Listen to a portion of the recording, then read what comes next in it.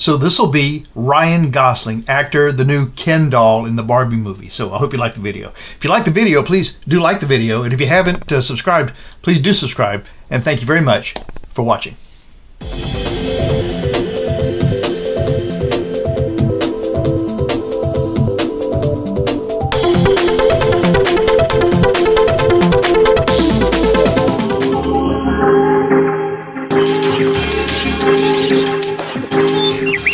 I'm Mark, and this is my journey through tarot.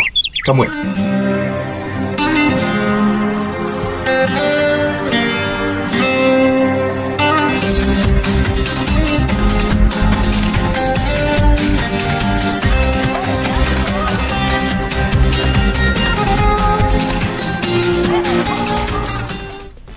Okay, so 1980, Ryan Thomas Gosling was born on November 12th at St. Joseph's Hospital in London, Ontario, Canada.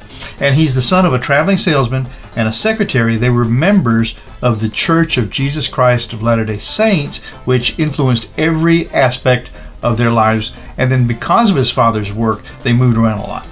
Now, in 1993, he's still 12 years old, but he attended an open audition in Montreal for a revival of the Mickey Mouse Club. Remember the Mickey Mouse Club from way back?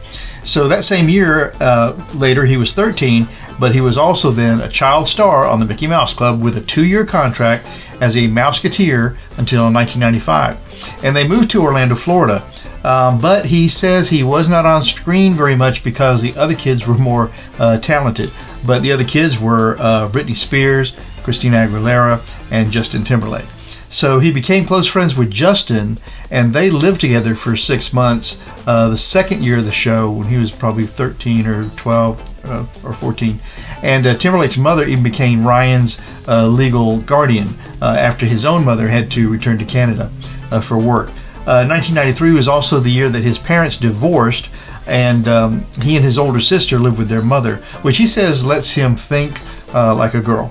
Now, uh, Gosling went to public and vocational school, and he hated uh, being a kid. He said he was bullied in elementary school and he had no friends until he was 14 or 15.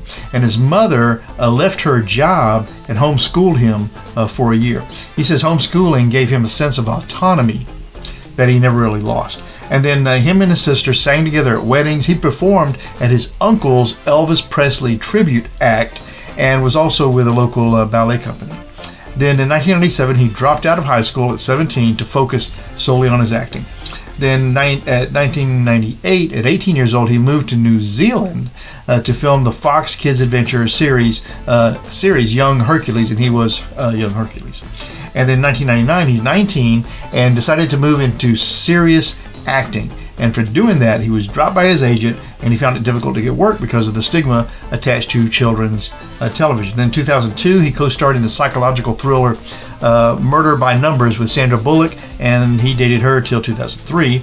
And then 2004, he starred opposite Rachel McAdams in The Notebook as Noah, the young couple of that uh, story.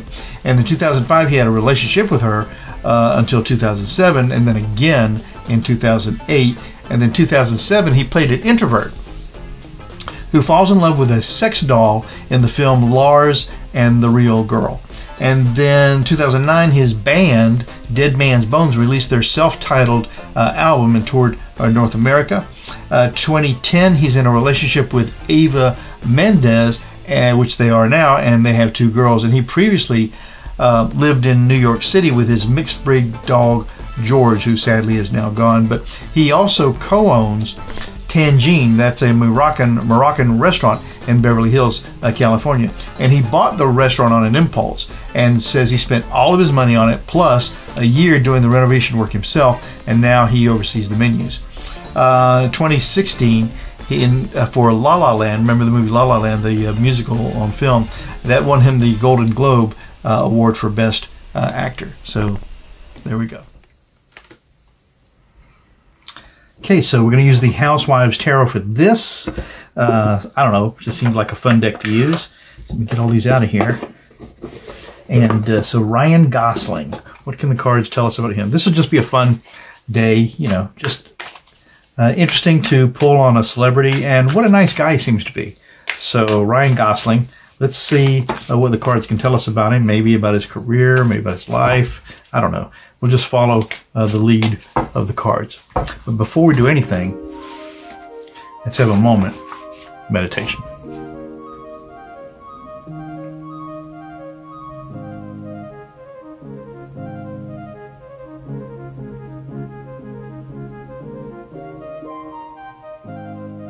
Okay. Ryan Gosling. What an interesting guy. Um, I wonder, after watching some of these interviews, if he's not actually very interesting at all. That he maybe has to have a script uh, to um, to be somebody, to take on that character, or else he's just kind of bland. Um, kind of the feeling you get. But uh, does seem nice. Eva Mendes is certainly a heavy thinker and gets a lot of things done. I think she was president of the Actors Guild, perhaps, for a while. I'm not sure about that. But she is very politically active, and uh, so in the Democratic Party. So let's see. Ryan Gosling, what can the cards just tell us about him? Let's do a better spread than that. Let's do, okay, uh, six cards, and then we'll see if we want more. So this will be a dyadic cross. This is one, two, three, four, five, and six. Ryan Gosling, what can the cards tell us about him? Okay. So, signifier card for Ryan Gosling.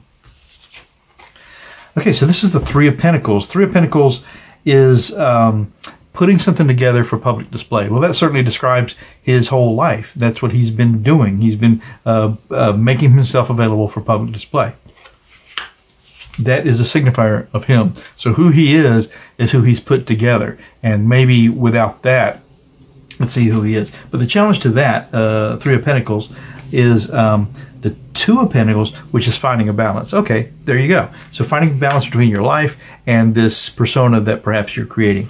The base of this reading then is the devil. Okay, so this is the temptation that all the actors have. This is um, vice. What do we have here?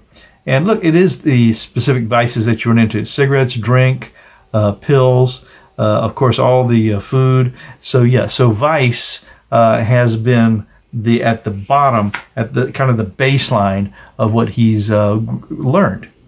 The past of this uh, reading is then the Six of Cups. Ah, cups are compassion, emotion, and kind of wanting things the way they were. And it seems like that's kind of where he is, but I think the way things were, they never really were that way because he started uh, in that business at such a young age. I wonder if there was ever any real reality.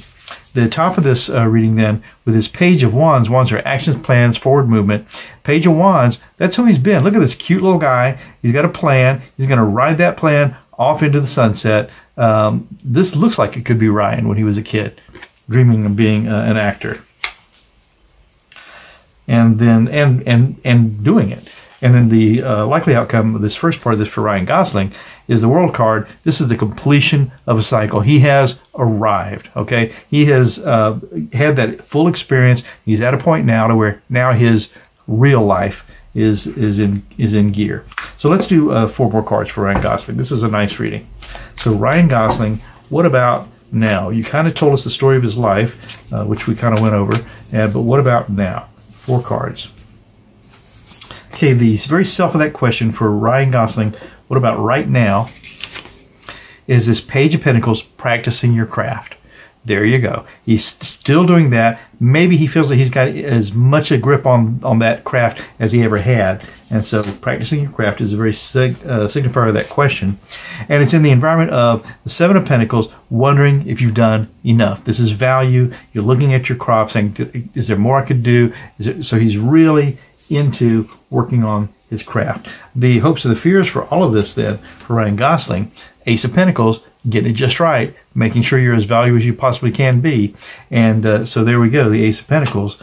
And then the final outcome for Ryan Gosling is uh, this Five of Cups. Well, this is interesting because this is compassion, emotion. Uh, this is kind of I like to call this card "crying over spilt milk." So this is showing you that you've got some some some emotional situations that have fallen down. You've still got a couple of pretty nice uh, cups uh, up here, and so the likely outcome is that um, we, you hope at least that you recognize uh, out of the pain that's come before what you've got less and what you can go on with. I like that.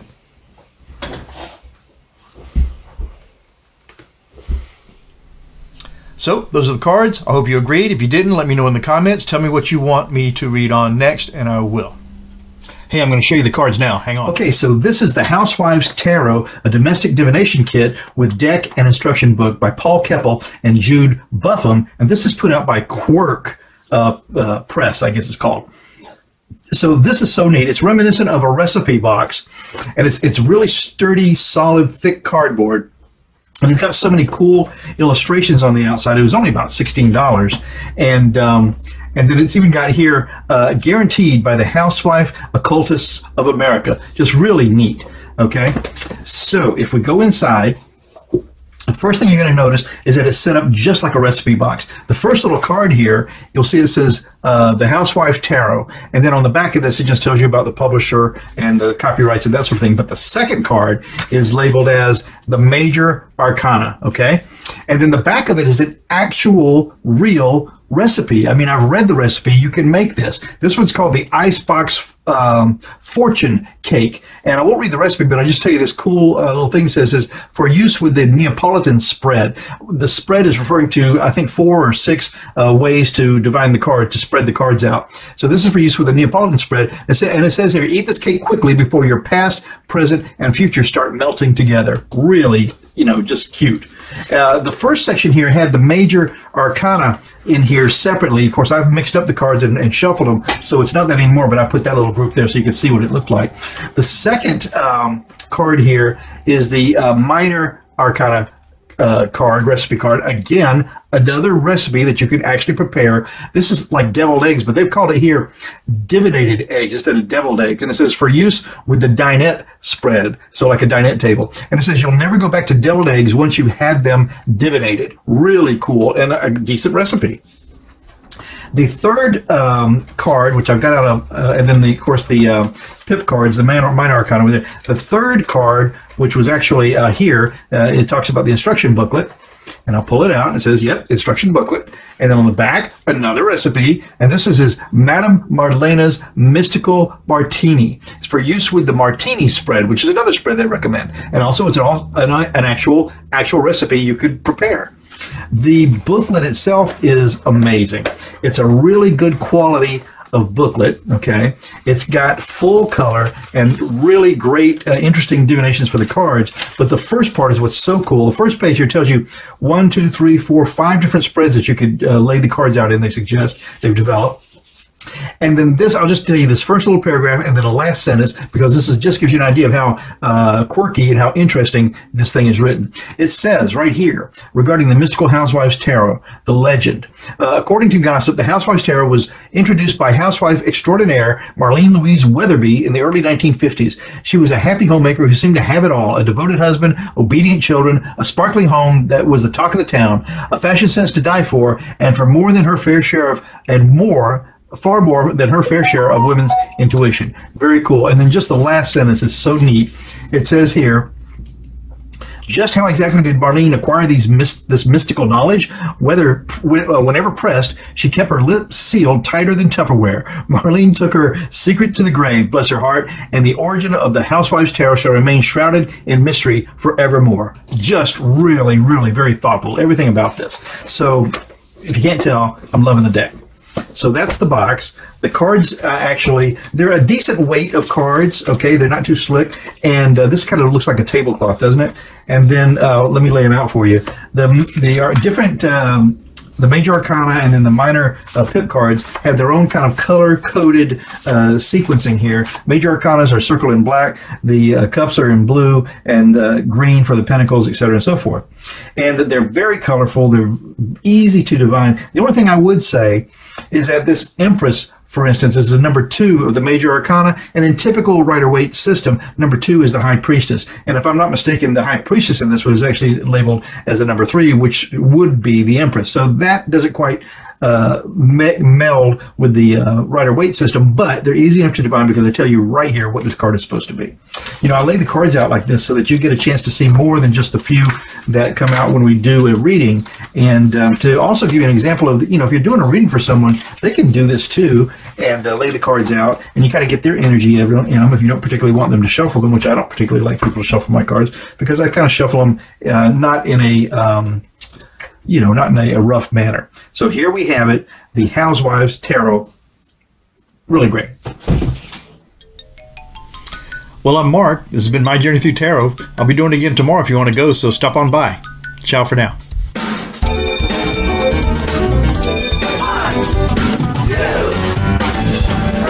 You really make a big difference. Thank you.